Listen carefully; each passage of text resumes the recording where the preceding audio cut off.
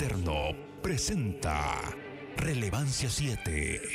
Las noticias, los hechos, pero sobre todo la reflexión y el análisis de los acontecimientos que día a día conforman la historia. Y nos ubican en el reloj de Dios conforme a la palabra profética más segura. Esto es Relevancia 7 con el pastor Pedro Remigio Olivares. Sean todos bienvenidos.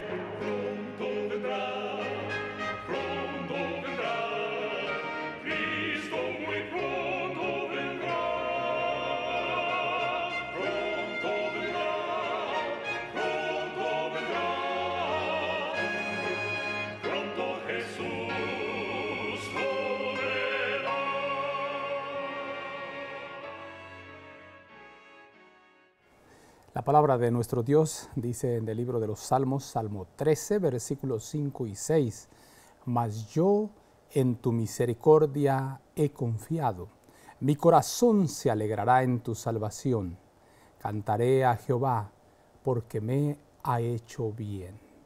Deseamos de todo corazón, queridos amigos, se sientan bienvenidos una vez más a este su programa Relevancia 7 nos encontramos en el umbral de la crisis final y ante todas estas circunstancias hemos de estar alertas, nuestra vida, nuestra mente, todo nuestro corazón consagrado totalmente, 100% al Dios Todopoderoso.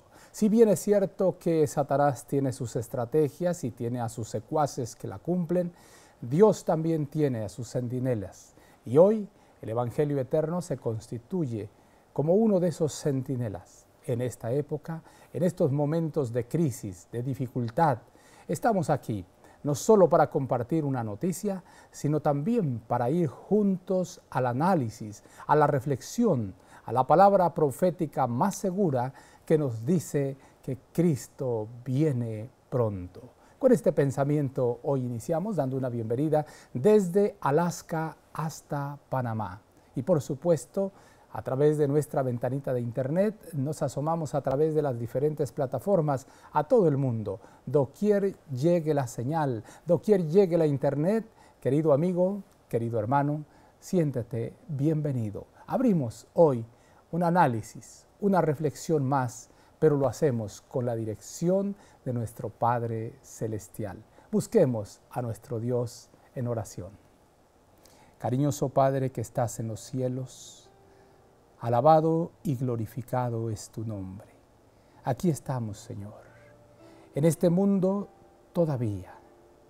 Padre Santo, queremos pedirte que tú nos acompañes, que tu dulce presencia pueda llenar nuestros corazones, que tú, Señor, puedas dirigir nuestras palabras, nuestros comentarios, pero sobre todo, que hable tu palabra, que hablen los testimonios y que podamos entender el tiempo en el que estamos viviendo es un tiempo muy especial, de solemne reflexión, de momentos en los cuales tenemos que estar alertas, en los cuales debemos estar bien dedicados y bien conectados con la fuente de inspiración y de verdad que es tu Santo Espíritu.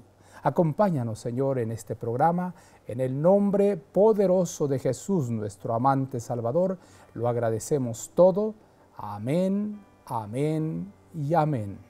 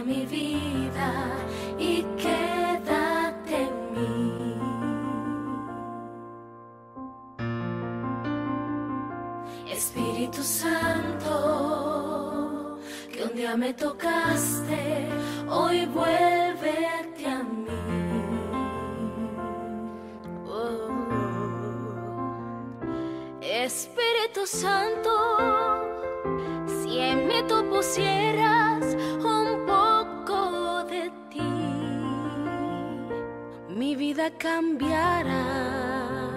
A Dios adorará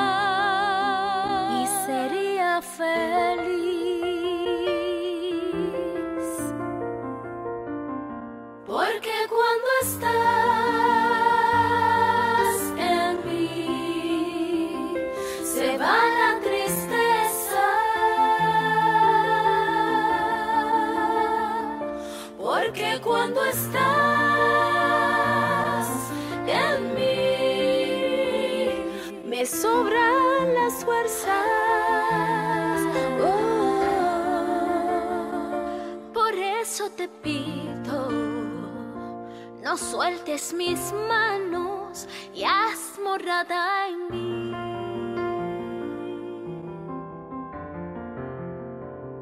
Consuela mi vida en esos momentos de necesidad.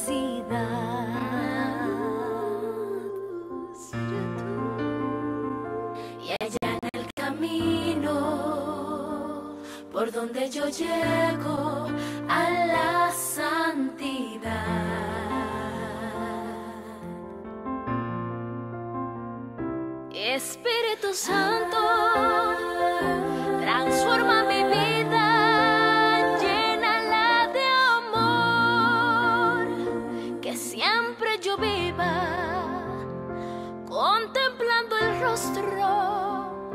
de mi Salvador.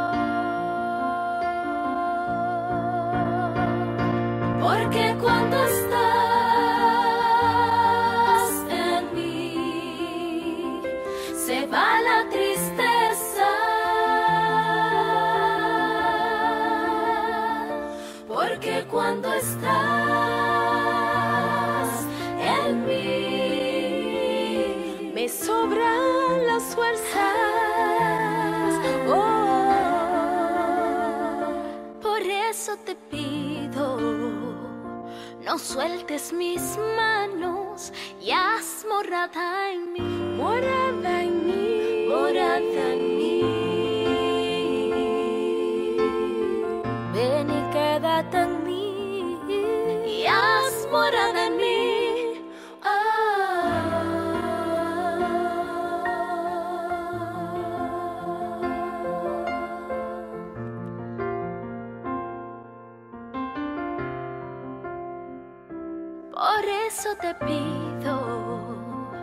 no sueltes mis manos y haz morada en mí.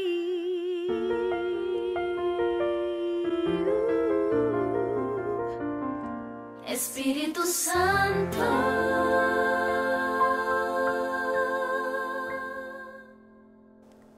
Nuestra mayor necesidad en estos momentos es la lluvia tardía en nuestro corazón. Por supuesto, no vendrá la lluvia tardía si antes no tenemos en nuestros corazones la lluvia temprana. A través del profeta Amós, el Señor nos advierte y nos invita. Por tanto, de esta manera te haré a ti, oh Israel. Y porque te de hacer esto, prepárate para venir al encuentro de tu Dios, oh Israel. Y es que hoy más que nunca, queridos hermanos, Dios quiere que nosotros podamos estar atentos a todo lo que ocurre en el mundo, pero no solamente con el propósito de informarnos, no, por cierto que no. Hoy más que nunca necesitamos estar atentos a fin de prepararnos.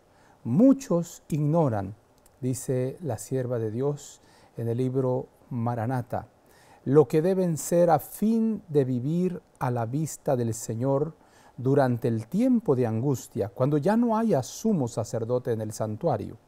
Los que reciben el sello de Dios vivo y sean protegidos en el tiempo de angustia, deben reflejar plenamente la imagen de Jesús. Sus vestiduras deben estar sin mancha, sus caracteres purificados de todo pecado por la sangre de aspersión. por la gracia de Dios y sus propios y diligentes esfuerzos, deberán ser vencedores en la lucha contra el mal. Por supuesto, esos diligentes esfuerzos no añaden ningún mérito.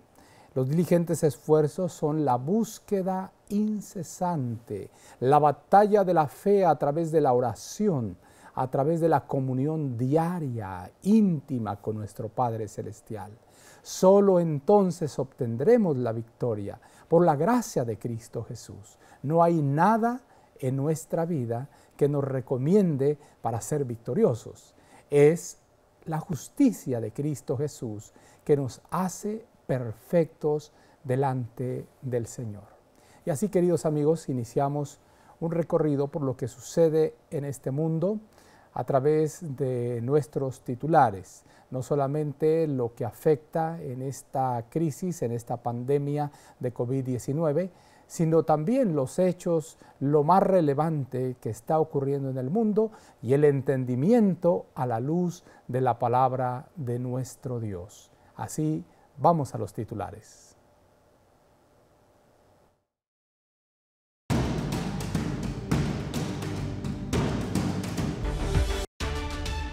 El mundo celebra el Día Internacional de las Enfermeras, heroínas en la lucha contra el COVID-19. Europa disfruta de su libertad condicional, con distintos baremos por regiones y con miedo de volver al confinamiento si aumentan los casos como está ocurriendo en Alemania. Al menos cinco personas han muerto al declararse un incendio en una unidad de cuidados intensivos de un hospital de San Petersburgo, en Rusia.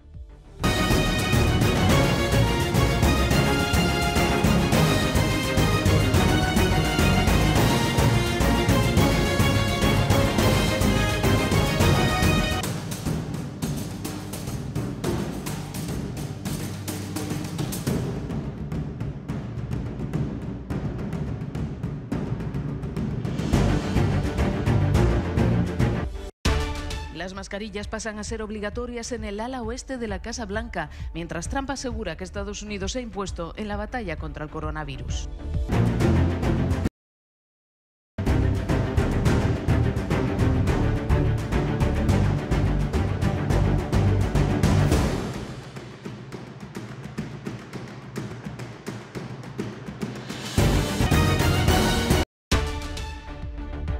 Primeros sorbos de normalidad y un inmenso vacío en el corazón en la España que ya está desconfinada.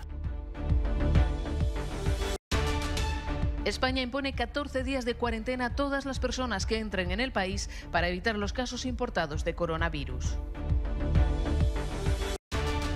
Nueva fase de desconfinamiento en Bélgica. Se permiten reuniones en casa de cuatro personas, pero el gobierno pide prudencia.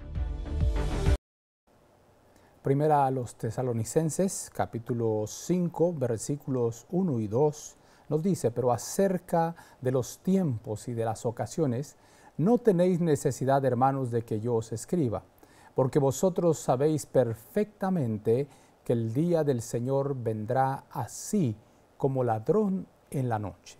Por supuesto, esto no se refiere a un rapto secreto. Esto no nos enseña nada en relación con esa doctrina extraña a las Sagradas Escrituras que es proclamada equivocadamente por muchos. Más bien tiene que ver exactamente con la cercanía del Señor. Y lo cierto es que cuando el tiempo de gracia termine, muchos ni siquiera lo notarán. Así el libro Eventos de los Últimos Días nos dice, los justos y los pecadores estarán viviendo aún sobre la tierra en su estado mortal. Los hombres estarán plantando, edificando, comiendo y bebiendo, inconscientes de que arriba en el santuario celestial habrá sido pronunciada la decisión final e irrevocable. Atención, pueblo de Dios advertencia. No sabemos el momento cuando el tiempo de gracia termine y esto debería mantenernos en constante, en constante alerta. Pues bien, queridos amigos, el mundo parece ser que nunca más será igual. Por lo menos es lo que nos muestra Francia, España y otros países de Europa que han vuelto a la nueva normalidad bajo estrictas, muy estrictas medidas, vuelven los niños en muchos lugares de Europa a la escuela.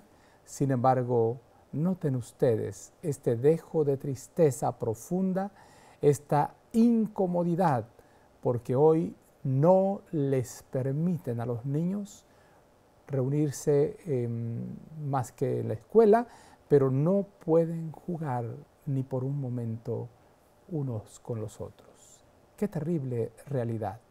Esta es la nota que France Press ha preparado. Queremos decirle de paso que agradecemos los titulares en nuestros amigos F y también AFPS Noticias. Queremos reconocer y dar el crédito de cada uno de estos em, reportajes o videos que son la base de nuestro análisis, de nuestra reflexión en este momento. Vamos directamente a esta nota que es presentada por France Press. Un día de vuelta al colegio como ningún otro. Después de dos meses de cierre, las escuelas primarias y los jardines infantiles han comenzado a recibir alumnos de nuevo, pero con una capacidad limitada, sin abrazos ni incluso un toque en el hombro. Los niños tienen que mantenerse separados por lo menos a un metro y lavarse las manos continuamente. No se permiten más de 15 alumnos en un aula. Se aconseja a los maestros que usen mascarillas y el almuerzo puede ser servido en las aulas en lugar de la cantina. Y los materiales de enseñanza son individuales. La atmósfera en las aulas ha cambiado por completo. Estamos con nuestros amigos, pero no está permitido jugar juntos. Es frustrante. A pesar de una serie de medidas de precaución, muchos padres tienen miedo de enviar a sus hijos de vuelta a la escuela. Por el momento, el regreso se hace de forma voluntaria. Las escuelas secundarias volverán a abrir el próximo lunes, pero solo para los alumnos de los dos primeros años y solo en las zonas donde la tasa de infección es baja. Para el resto, la fecha de reapertura aún no se ha decidido. El ministro de Educación, Jean-Michel Blanquer, no ha descartado la posibilidad de mantenerlas cerradas hasta el próximo año escolar, que comienza en septiembre. Mientras son vigilados permanentemente por cámaras inteligentes de reconocimiento facial capaces de establecer una identidad en tiempo real, ahora los chinos son calificados. 778 sobre 950, 548 no tan bueno, 748 es una buena calificación. Por el momento se trata de una calificación bancaria que certifica el buen manejo de las cuentas y que aquí todo el mundo conoce. Me parece bien ser calificado. Es necesario que haya reglas en una sociedad. Estas calificaciones nos obligan a comportarnos bien. Puede asustar, pero en China es así. Estamos acostumbrados. De todas formas, no tenemos opción. Beijing quiere poner a marchar a todo el mundo e incluso llegar más lejos de aquí al 2020. Habrá buenos y malos ciudadanos gracias a la recolección de centenares de datos provenientes de bancos, compañías privadas y las autoridades. Utilizando la mayor cantidad de datos posible, es decir, el Big Data, este sistema jugará un papel importante en la reconstrucción moral de la sociedad. Para ello, todo será estudiado. La situación financiera, los hábitos de consumo, la carrera profesional e incluso el comportamiento en las redes sociales. Criticar al gobierno en Internet o exhibir signos exteriores de riqueza conllevará a una mala calificación. Por su parte, elogiar al partido o donar sangre aumenta el crédito social. Xiao Wen Wang es una ciudadana modelo. Vive en Nanking, ciudad que ha servido de prueba. Cuenta con el perfil perfecto. Está casada, es madre de un niño de 5 años, trabaja en una residencia para jubilados, no tiene deudas y, por ejemplo, siempre espera pacientemente para cruzar una calle. Como buena ciudadana que soy, respeto el código de tránsito. Si no lo hiciera, perdería puntos en mi crédito social. En teoría, todo puede ser tomado en cuenta para una calificación social, incluso los gestos más anodinos, como por ejemplo las compras en un supermercado. En esta era de los pagos electrónicos, las compras de Xiao Wen Wang podrían inclinar la balanza. Comprar cigarrillos no está bien visto, pero pañales sí, porque denotan atención para un menor. Comprar cerveza puede ser sinónimo de dependencia al alcohol, mientras que comprar agua es mejor. En esta ciudad piloto de 8 millones de habitantes, tan solo hay 18.000 ciudadanos modelos. Para Xiao Wen Wang ello trae beneficios. Cuando toma el bus, por ejemplo, paga medio tiquete. Cuento con descuentos en todos los servicios públicos, también para los museos y en la biblioteca. Gracias a mi carnet puedo leer gratuitamente. Un buen puntaje otorga ventajas, mientras que un mal puntaje quita derechos. En este cine, estas personas son malas pagas. Hemos decidido no mostrar los rostros, los nombres y las direcciones aparecen arriba del afiche. Es un asunto de principios. Hay que denunciar a esta gente. No son honestos. Deben pagar el precio. No reembolsar es normal pagar las deudas, de lo contrario, deben ser expuestos en la lista negra. Esta es la lista negra, fue establecida por la Corte Suprema y está destinada a estos malos ciudadanos, cuya nota es cero. Concierne empresas, pero también 23 millones de individuos al día de hoy. Entre ellos, un periodista, Liu Hu. Tal parece que se interesó demasiado en asuntos de corrupción relacionados con un alto cargo del partido. Fue condenado por un tribunal por difamación. Es por ello, según él, que su nombre fue registrado en la lista negra de la noche a la mañana. Se dio cuenta cuando iba a comprar un tiquete de tren. Entendió que ya no lo dejarían viajar. Observen, dice que aún sigo en la lista negra. Lo juzgan como indigno de confianza, razón por la cual lo castigan. Una vez que uno se encuentra en la lista negra no puede volver a obtener un crédito bancario ni crear una empresa, comprar un apartamento e incluso inscribir a sus hijos a una escuela privada. Son pocos los que como Liu Hu emiten críticas contra este sistema, que algunos catalogan como dictadura digital. Me preocupa porque considero que mucha gente perderá sus libertades individuales tal como yo. Todos viviremos con restricciones. Poco tiempo después de nuestra entrevista, Liu Hu se enteró de que su nombre había sido eliminado de la lista negra. Su calificación social de cero no puede sino mejorar. Mientras nos confinan en casa, avanzan rápidamente los planes, los planes a una clasificación de ciudadanos, los planes hacia la pérdida de libertades, los planes hacia confeccionar una lista negra. ¿Una lista negra? ¿Qué tiene que ver todo esto con nosotros? Atención, esto es tan importante.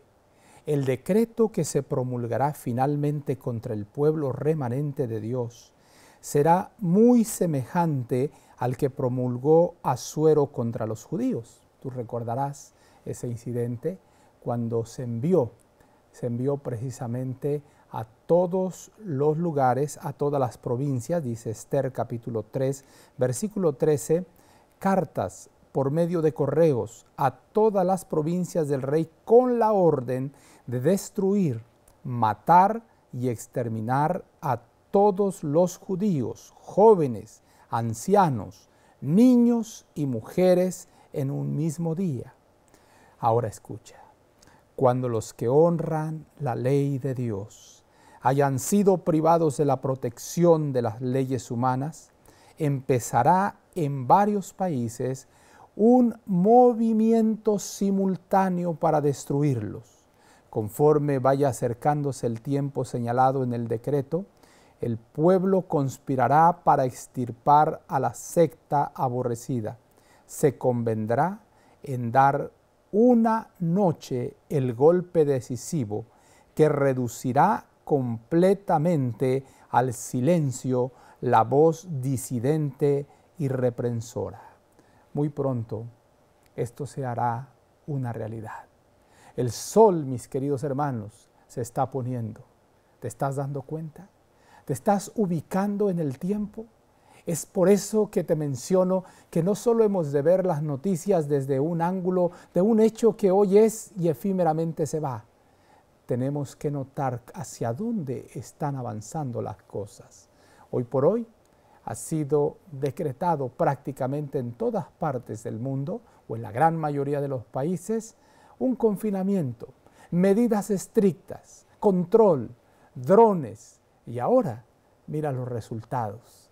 Ahora tenemos un no solo un confinamiento, sino ahora realmente tenemos situaciones que son preocupantes. Es un atentado contra las libertades. Por un lado, felicita y exalta a algunos. Por otro lado, minimiza, condena y provoca que la sociedad lo señale. ¿Notaste cómo lo mencionaban los ciudadanos entrevistados? Decían, hay que condenarlos, tienen que pagar, tienen que ser señalados, estigmatizados. Terrible. Lo que está por venir, queridos hermanos, está cada vez más cerca. Difícilmente escaparemos al control. No nos interesa escapar ni siquiera a la muerte, a las mm, represalias. Lo que hemos de estar preocupados no es de los que matan el cuerpo, pero matar el alma no pueden, dijo el Señor Jesús. Preocupaos, estad atentos por estar en correcta armonía con Dios, quien no solo destruye el cuerpo, sino destruye el ser total. Qué importante es para este momento que nosotros nos preocupemos por estar en la lista, pero en la lista del libro de la vida, en esa lista que pronto se habrá de concluir, pronto habrá de ser confeccionada en su forma total y entonces el que siga siendo justo, que lo siga haciendo, más el que siga en su vida, en su suciedad, él tendrá que dar cuentas un día porque ante los ojos de Dios esa lista, esa lista de los que hayan sido pesados y hallados faltos, esa lista sí que es preocupante. Y bueno, continuamos adelante, precisamente vuelve a las calles el conflicto, el odio entre hermanos, entre personas que debieran de haberse replegado durante esta pandemia a la reflexión, al análisis, a entender. Pero ni gobierno ni manifestantes pararán. Las cosas, por el contrario, queridos amigos, y conste que desde ahora lo estamos diciendo, no van a mejorar. Esto no está augurando una etapa de mejoras en la sociedad.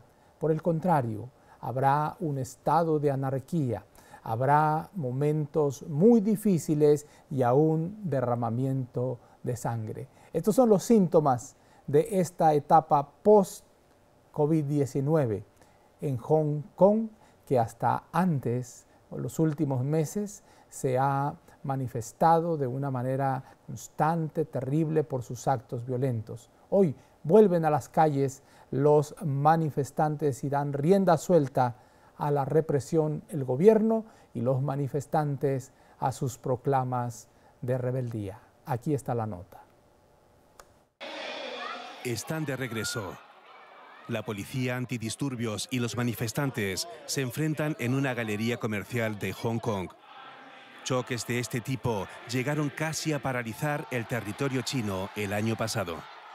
A principios de este año, las restricciones impuestas por el coronavirus pusieron fin a las protestas. Pero ahora las restricciones están siendo levantadas gradualmente. El gobierno permite reuniones públicas de hasta ocho personas, muchas más de las involucradas aquí. Los activistas pro democracia de Hong Kong no han olvidado su revolución inconclusa.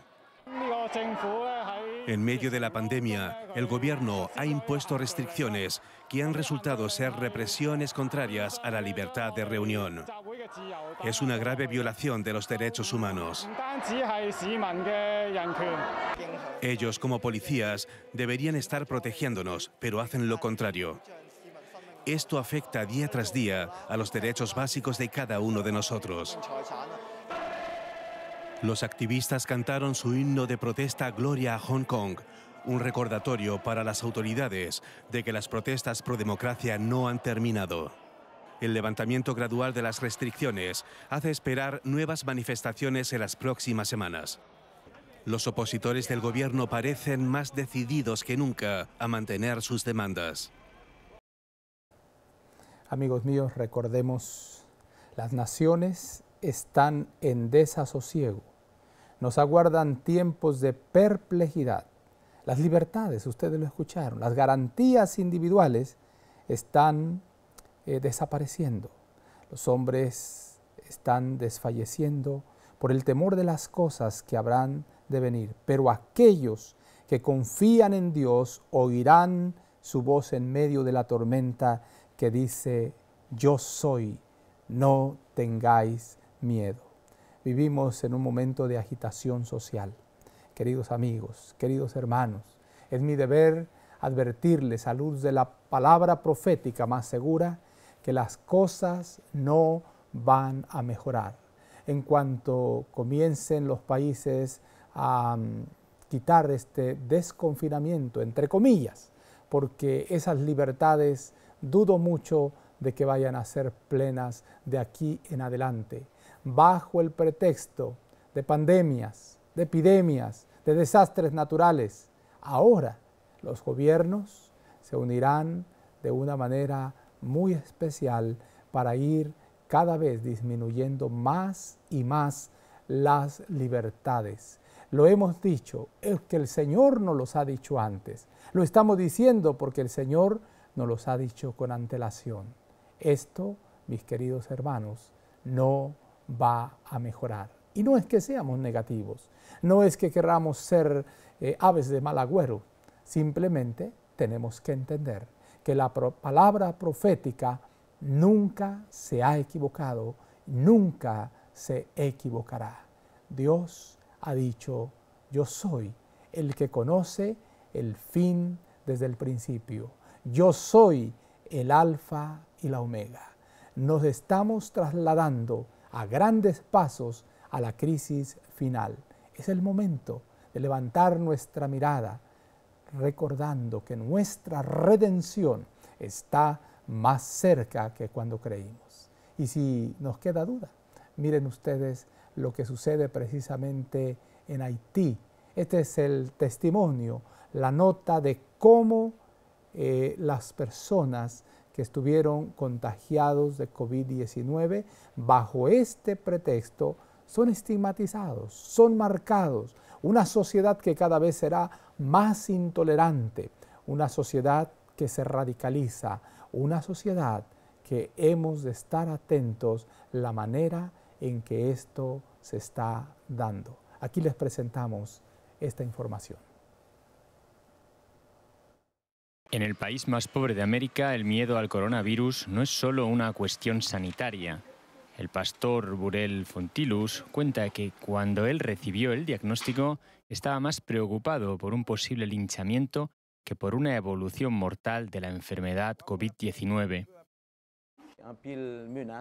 Recibí amenazas, me llamaban por teléfono, pero mi esposa me había protegido de esas llamadas amenazantes. Toda la población de la zona, toda la población de Carrefour se estaba confabulando para matarme. Fontilus insiste en su buena salud y en la de su familia, pero no se atreve a regresar a casa y vive con amigos en un lugar secreto. Teme por la vida de los suyos ante el odio de turbas que, según asegura, los amenazan por miedo e ignorancia. Esta estigmatización de los pacientes de coronavirus a la que se refiere ha puesto en alerta a organizaciones de defensa de derechos humanos. Hay desconfianza ante las autoridades políticas. Cada vez que dicen una cosa, aunque sea una cosa correcta, la población la va a poner en tela de juicio. También cunde el miedo entre los practicantes de la religión vudú. Durante la epidemia de cólera de 2010, las turbas asesinaron a al menos 45 sacerdotes de esta religión de Haití. Algunos los acusaban de causar y extender la enfermedad con su magia. Por fortuna, el coronavirus está siendo mucho menos letal que el cólera, pero los líderes religiosos del vudú tratan ahora de prevenir el posible regreso de la violencia ante la total incapacidad del Estado para proteger a sus ciudadanos. Dios dotó al ser humano con esa maravillosa capacidad, ese don inalienable como está prescrito en la constitución de la mayoría de los países y especialmente de los Estados Unidos. Es un don maravilloso, es un don inalienable, es decir, inseparable del ser humano el don de la libertad. Pero esas libertades cada vez estamos mirando, estamos observando que se van, se van acabando y paso a paso nos aproximamos hacia la intolerancia religiosa, a un recrudecimiento de la intolerancia, a una pérdida de las libertades. Y cuando llegue el momento crucial, el pueblo de Dios padecerá persecución. En otro orden de ideas, los daños colaterales de esta pandemia ahora se reflejan en un crucero. Personal de este crucero, ante la confinación y ante la situación, no muere de COVID-19. Esta vez mueren por otras causas. Tenemos la información para todos ustedes. Crítica situación en cruceros varados con trabajadores a bordo. Al menos cuatro tripulantes han fallecido por causas distintas a la COVID-19 en menos de 10 días, tres por aparente suicidio. En Miami, 14 trabajadores iniciaron una huelga de hambre para exigir a Royal Caribbean su vuelta a casa tras dos meses sin noticias. Hay 104 cruceros tripulados en espera en aguas estadounidenses. A mediados de marzo, todos los cruceros fueron suspendidos hasta nuevo aviso. Los que tenían pasajeros consiguieron desembarcarlos tras complicadas negociaciones, pero los tripulantes que quedaron a bordo han estado desde entonces en un limbo. La palabra de Dios nos dice precisamente en el Evangelio según San Lucas, en el capítulo 21, la condición imperante precisamente durante los últimos días. Lo que acabamos de escuchar precisamente refleja esta situación, esta situación de angustia. Así dice San Lucas capítulo 21 y voy a leer de manera muy especial lo que la palabra de Dios nos dice en el versículo 10. Entonces añadió, se levantará nación contra nación y reino contra reino habrá grandes terremotos y en diferentes lugares hambres, pestilencias, habrá terror y grandes señales del cielo. Ahora miren ustedes lo que el Señor advierte precisamente en los siguientes versículos. Vamos al versículo 26. Versículo 26. Los hombres quedarán sin aliento por el temor y la expectación de las cosas que sobrevendrán en la tierra, porque las potencias de los cielos serán conmovidas. Así es la situación, angustia, expectación, mucho miedo. ¿Qué puede llevar a una persona a suicidarse? El encierro, la soledad, situaciones emocionales, adicciones, no lo sé pero tomar la decisión del suicidio conlleva un proceso complicado. Llegar a esa decisión fatal no es algo fácil de explicar. Sin embargo, esta es la realidad. Esto es lo que está sucediendo en nuestro mundo. Esto es el daño colateral. Son los daños precisamente que están hoy día afectando las consecuencias de todo esto que estamos viviendo. Bueno, Rusia, Rusia está volviendo aparentemente a la normalidad, eh, han abierto ya los puestos de trabajo, sin embargo, debo decirles que contrastando con esta apertura, hoy por hoy supera al Reino Unido y a Italia en los casos de contagios. Vamos a ver esta nota de manera especial, pongamos atención. Rusia ha superado al Reino Unido e Italia en número de contagios por COVID-19. Según los últimos datos, en Rusia ya hay más de 221.300 casos de coronavirus, de los cuales más de 11.600 han registrado en las últimas horas. La pandemia se expande a marchas forzadas, si bien las autoridades insisten en que esas cifras se deben al gran número de test que se están realizando. Lo sorprendente es que mientras el Reino Unido e Italia acumulan más de 30.000 muertos cada uno, Rusia, con un número superior de contagiados, reconoce poco más de 2.000 fallecidos. Moscú sigue siendo el epicentro de la pandemia en el país. El presidente Vladimir Putin abordará hoy con el gobierno una posible prolongación de las restricciones hasta junio. El continente americano superó en las últimas horas a Europa en número de casos de COVID-19 con 1,74 millones frente a los 1,73 del viejo continente, según las estadísticas de la Organización Mundial de la Salud. Europa era desde mediados del mes de febrero el epicentro de la epidemia en palabras del propio director general de la OMS, pero el mayor número de casos diarios en las últimas semanas, con países como Estados Unidos, Brasil, México, Perú o Canadá especialmente afectados, ha provocado que América le superara. En concreto y según las cifras de las redes sanitarias nacionales ligeramente superiores a las de la OMS, Estados Unidos es el país del mundo con más infecciones con 1,3 millones, Brasil el octavo con 169 mil casos y Canadá el decimotercero con casi 70 mil contagios, una cifra a la que también se aproxima Perú. Pese al mayor número de contagios, los fallecidos por COVID-19 en el continente americano que el lunes superaron la barrera de los 100.000 son significativamente menos que los cerca de 160.000 registrados en el continente europeo. Estados Unidos ha confirmado más de 80.000 fallecidos, por 11.000 en territorio brasileño y casi 5.000 en Canadá, destacando también la cifra de más de 3.500 muertes en México. Pese a las cifras, varios países americanos están elaborando planes de relajación de los confinamientos y otras medidas tomadas con anterioridad para frenar la expansión del nuevo coronavirus.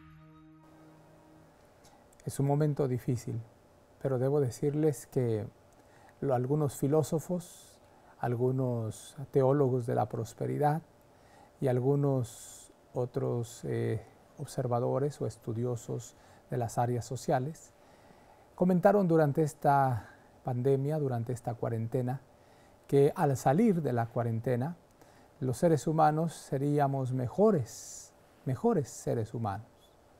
La verdad es que la palabra de Dios nos muestra que antes del diluvio, aún con una constante advertencia de Dios a la humanidad, la humanidad no entendió.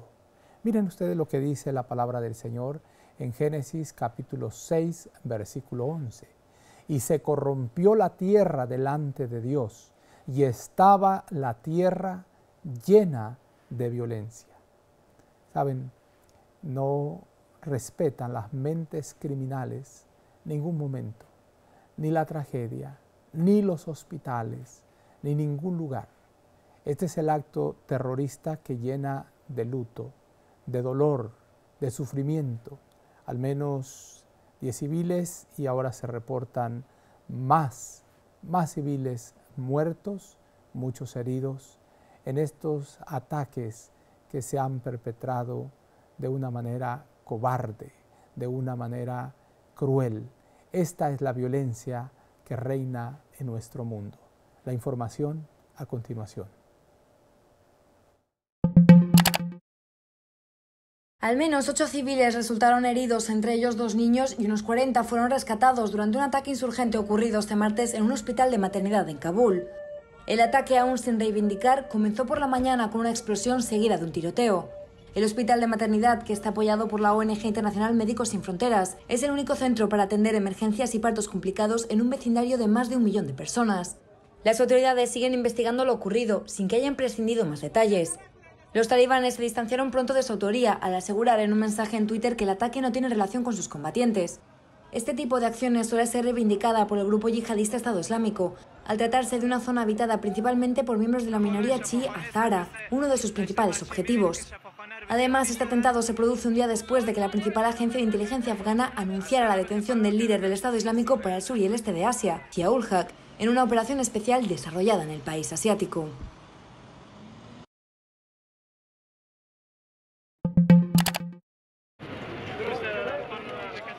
40 muertos en ataques a un hospital y un funeral en Afganistán. El atentado contra un hospital de atención materna dejó este martes al menos 16 fallecidos, entre ellos dos recién nacidos y una quincena de heridos.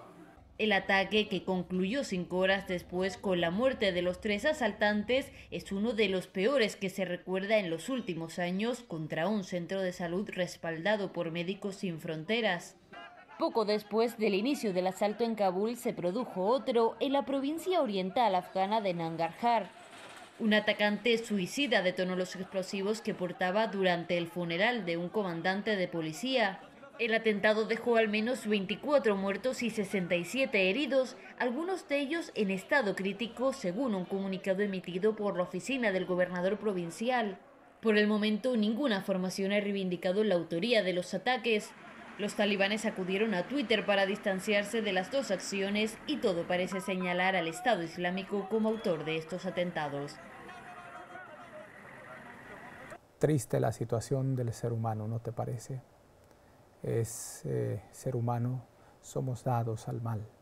Y qué tristeza, qué dolor se siembra con toda esta violencia. Afortunadamente hay personas que sirven todavía a su prójimo. Me refiero a las enfermeras, me refiero por supuesto a los médicos, aquellos que han cumplido su deber durante todo este tiempo.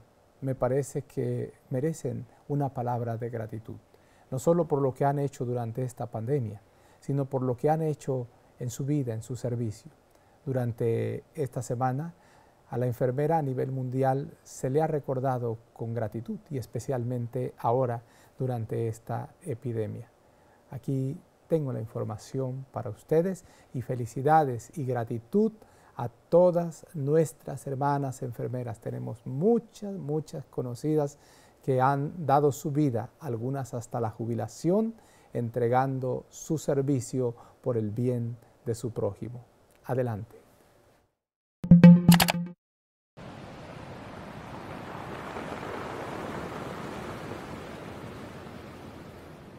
Siempre quise ser enfermera, creo que es una profesión muy vocacional.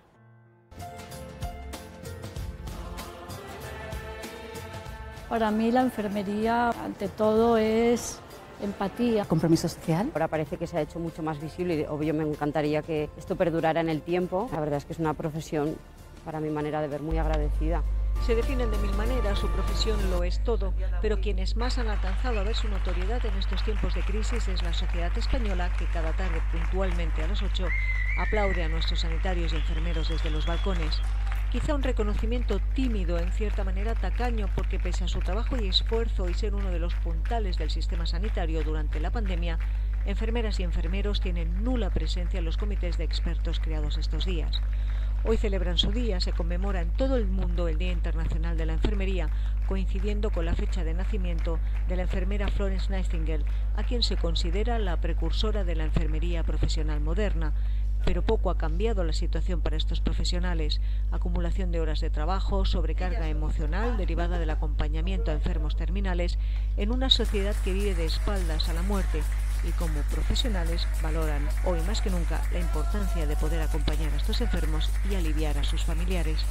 Pero más allá de la responsabilidad institucional, han de lidiar con márgenes de error que puede costarles muy caro el autocuidado, las medidas que deben tenerse en cuenta en esta situación excepcional, encontrar el apoyo de equipo, enfatizar con ellos, valorarlos a nivel social, porque pese a que son muy importantes, no son ni superhombres ni supermujeres.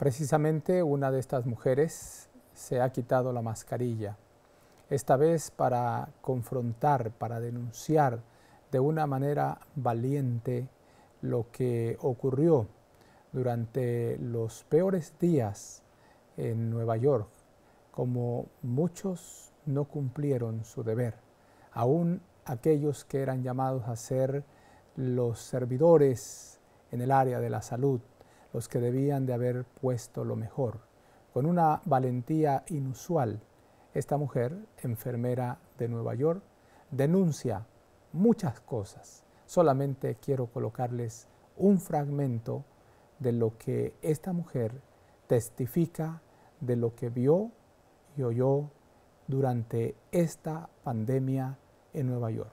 Adelante. But these people aren't dying from COVID. Let me give you several examples here. Uh, an anesthesiologist um, intubated the patients, like I think it was right, uh, like bronchi, and of a patient and they couldn't get the sats up. And for about five hours like we were waiting on a chest x-ray to confirm that the placement was wrong. And in the meantime while we're waiting for that and we've told the anesthesiologist that it was placed wrong because like literally only one side of his fucking chest is like inflating um he dies. Okay? Um a patient had a heart rate of 40 and the resident started doing chest compressions on him, which is not what you do. You just externally pace them or you, you know, give him some atropine. And then, you know, I run in there to stop him from doing chest compressions on somebody with a fucking pulse. And then he decides to push epi. He throws some pads on them, on him to, to defibrillate the guy in bradycardia. Okay, he has a heart rate of 40 in a stable, you know, bradycardic rhythm. We just need to give him some, like some atropine and pace him. He fucking defibrillates him and kills him.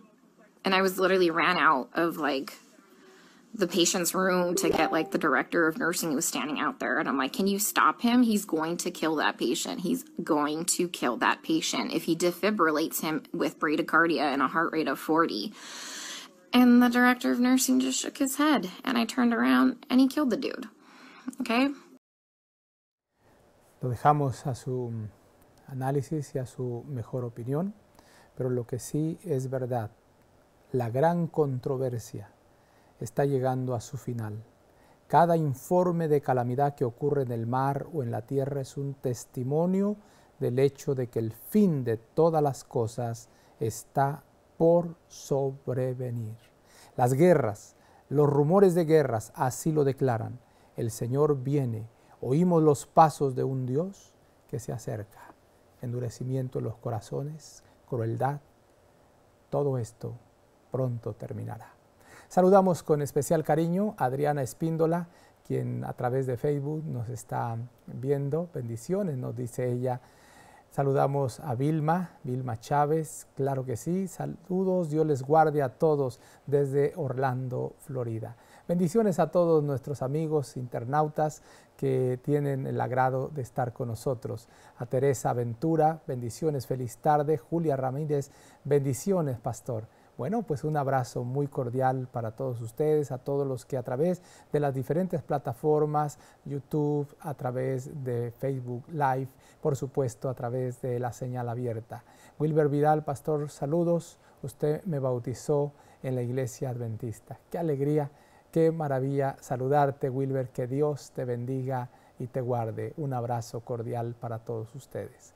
Decimos en esta hora, queridos hermanos y amigos, Jehová te bendiga y te guarde.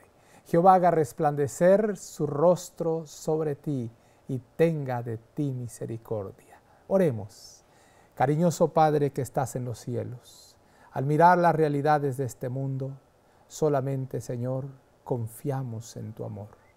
No sabemos si quizá no podemos descifrar ni entender el porqué de la crueldad, de la violencia, el porqué de todas estas cosas. Pero lo que sí sabemos es que todo esto fue dicho por ti a través de tu palabra.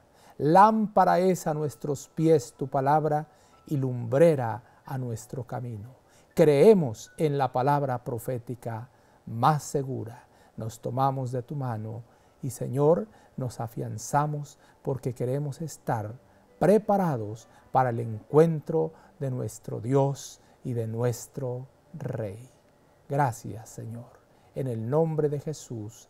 Amén, amén y amén.